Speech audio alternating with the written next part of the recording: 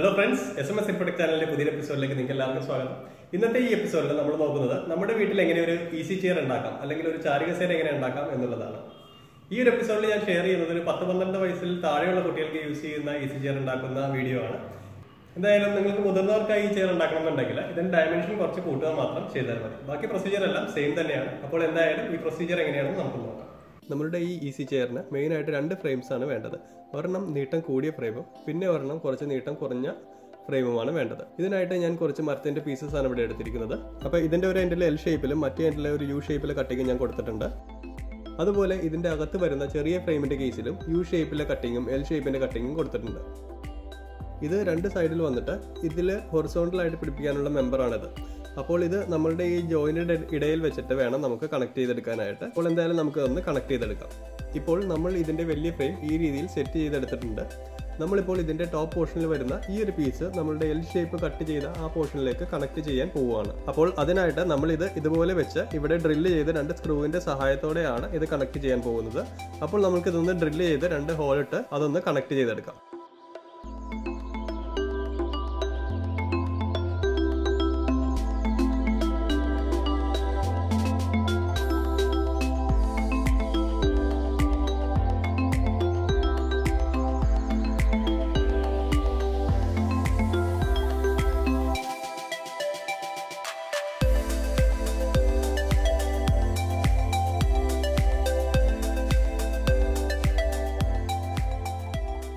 ഇപ്പോൾ നമ്മളുടെ വലിയ ഫ്രെയിമിന്റെ കണക്ഷൻ കംപ്ലീറ്റ് ആയിട്ടുണ്ട്. ഇതുപോലെ നമ്മൾക്ക് ഇനി ചെറിയ ഫ്രെയിം കൂടി കണക്ട് ചെയ്തെടുക്കണം.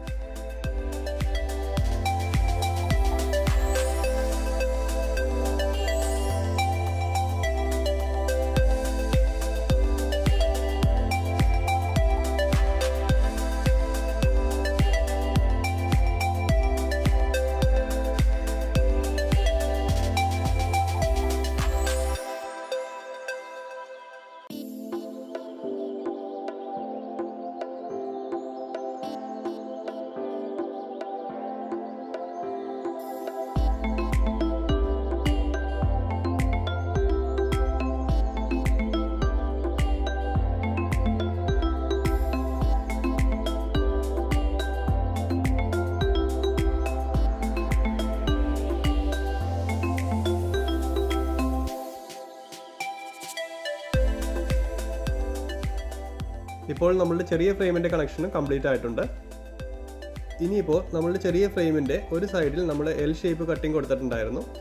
അതിനോട് അടുത്തായിട്ട് ഇതുപോലെ അകത്ത് നിൽക്കുന്ന രീതിയിൽ ഒരു ചെറിയ പീസ് കൂടി നമ്മൾക്ക് കൊടുക്കണം.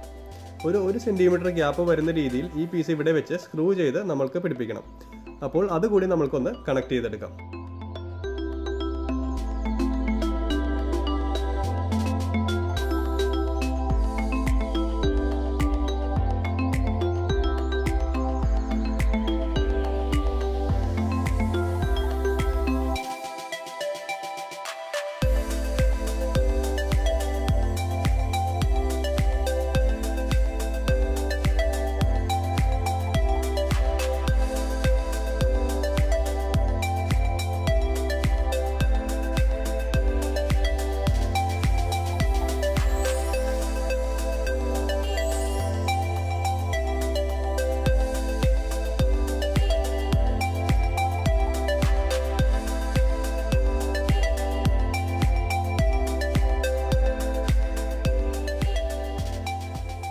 നമ്മളിപ്പോൾ ചെറിയ ഫ്രെയിമിൽ ചെയ്തതുപോലെ വലിയ ഫ്രെയിമിലും ഈ എൽ ഷേപ്പ് കട്ടിങ് വരുന്ന ഭാഗത്ത് ഒരു ഒരു സെന്റിമീറ്റർ ഗ്യാപ്പ് വിട്ട് ഒരു പീസ് പിടിപ്പിച്ച് കൊടുക്കണം. അപ്പോൾ ഇത് കൂടി ഒന്ന് കണക്ട് ചെയ്തെടുക്കാം.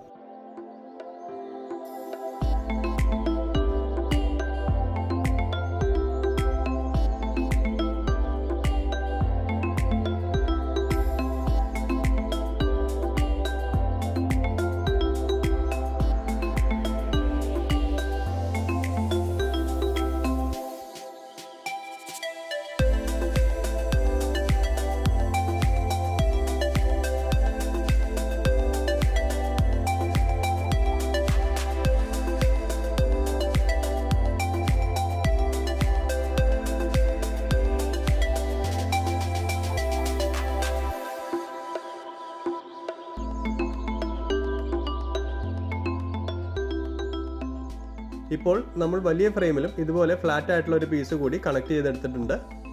ഇനിയിപ്പോൾ നമ്മൾ ഉണ്ടാക്കിയ ചെറിയ ഫ്രെയിം നമ്മളുടെ വലിയ ഫ്രെയിമിന്റെ അകത്ത് ഇതുപോലെ വെച്ചിട്ടുണ്ട്. ഇനി നമുക്ക് ചെയ്യേണ്ടതെന്ന് പറഞ്ഞു കഴിഞ്ഞാൽ ഈ ചെറുതും വലുതും തമ്മിൽ ഒരു സ്ക്രൂ യൂസ് ചെയ്ത് നമുക്കൊന്ന് കണക്ട് ചെയ്ത് കൊടുക്കണം. അത് രണ്ട് എൻഡിൽ നമ്മൾ കണക്ട് ചെയ്ത് കൊടുക്കണം.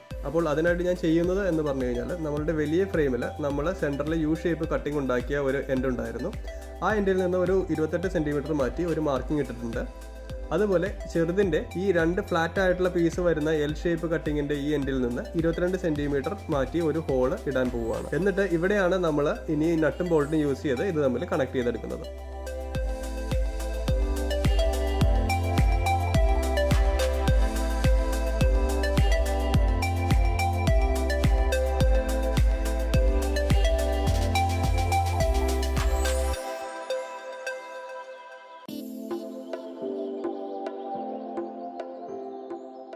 ഇപ്പോൾ ഇതുപോലെ നമ്മൾ രണ്ട് സൈഡും കണക്ട് ചെയ്തെടുത്തിട്ടുണ്ട്.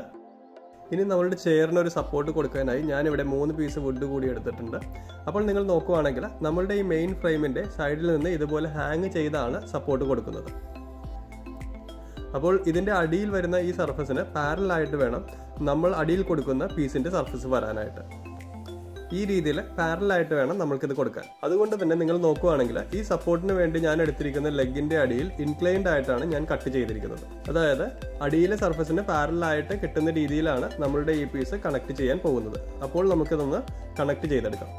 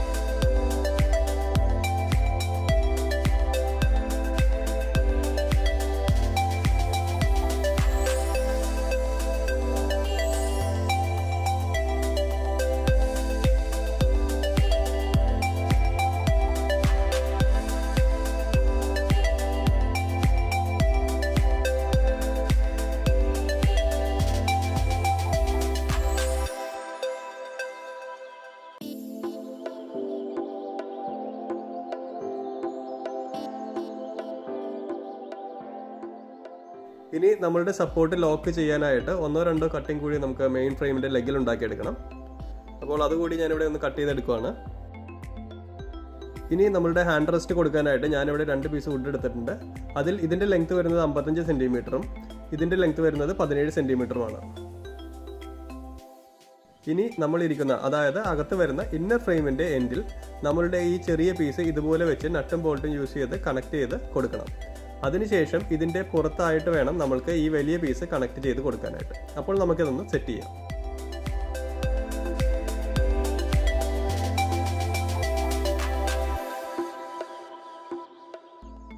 ഇനി നമ്മൾക്ക് ഈ അമ്പത്തഞ്ച് സെന്റിമീറ്റർ നീട്ടം വരുന്ന പീസ് ചെയറിന്റെ സൈഡിലായിട്ട് സെറ്റ് ചെയ്യണം.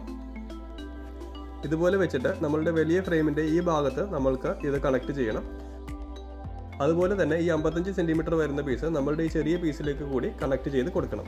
അപ്പോൾ അവിടെയും ഒരു ഹോൾ നമ്മൾക്ക് ഇട്ട് കൊടുക്കണം.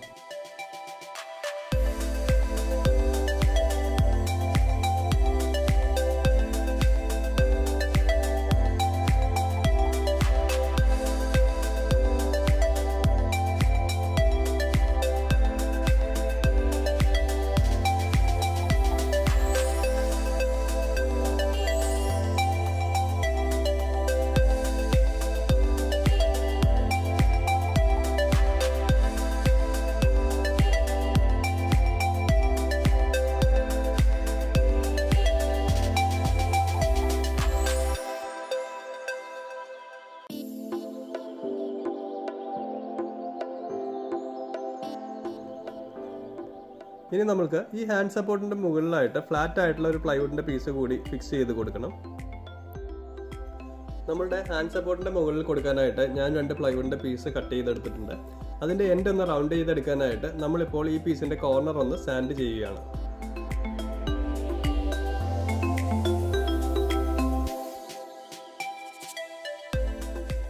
ഇപ്പോൾ നമ്മൾ നമ്മളുടെ ചെയറിന്റെ ഓൾമോസ്റ്റ് എല്ലാ പീസും ഒന്ന് പെയിന്റ് ചെയ്തെടുത്തിട്ടുണ്ട്. നമ്മൾ അഡീഷണൽ ആയിട്ട് ഹാൻഡ് ആൻഡ് ഫുഡ് റെസ്റ്റായിട്ട് യൂസ് ചെയ്യാൻ രണ്ട് പ്ലൈവുഡിന്റെ പീസ് കൂടി എടുത്തായിരുന്നു. അതായിരുന്നു ഈ ലെഫ്റ്റ് സൈഡിൽ വെച്ചിരിക്കുന്നത്.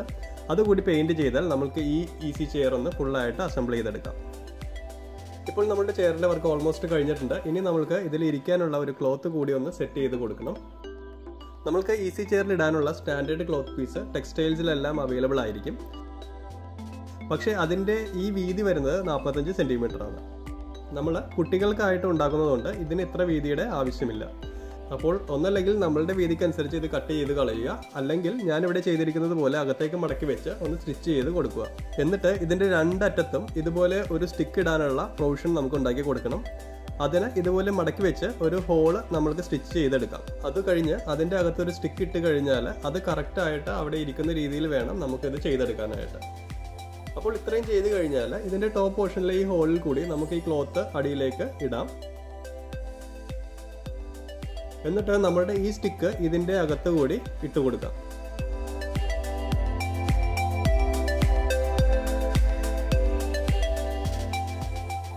അപ്പോൾ ഇതുപോലെ അപ്പുറത്തെ എൻഡിലും നമുക്കൊന്ന് കണക്ട് ചെയ്ത് കൊടുക്കാം.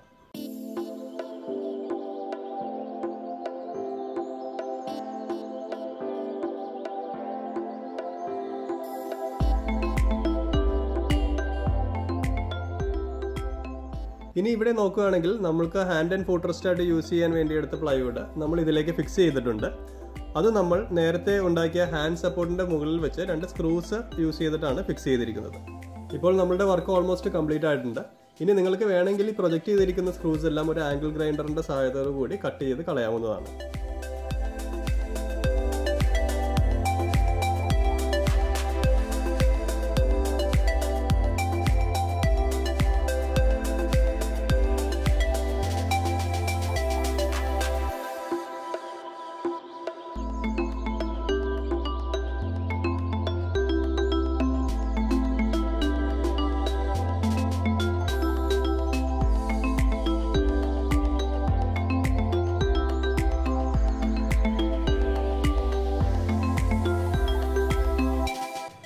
ഈ ഒരു വീഡിയോ നിങ്ങൾക്ക് ഇഷ്ടമായിട്ടുണ്ടെങ്കിൽ ദയവായി ലൈക്ക് ചെയ്യുക. അതുപോലെ ഈ ചാനൽ നിങ്ങൾ ഇതുവരെ സബ്സ്ക്രൈബ് ചെയ്തില്ലെങ്കിൽ സബ്സ്ക്രൈബ് കൂടി ചെയ്ത് ഞങ്ങളെ ഒന്ന് സപ്പോർട്ട് ചെയ്യുക. അപ്പോൾ നമുക്ക് ഇനി അടുത്തൊരു വീഡിയോയിൽ കാണാം.